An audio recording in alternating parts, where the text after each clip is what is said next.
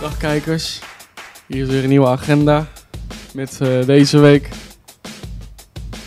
zaterdagmiddagcafé, 17 februari, van 3 tot 4, thema Valentijn, gratis entree.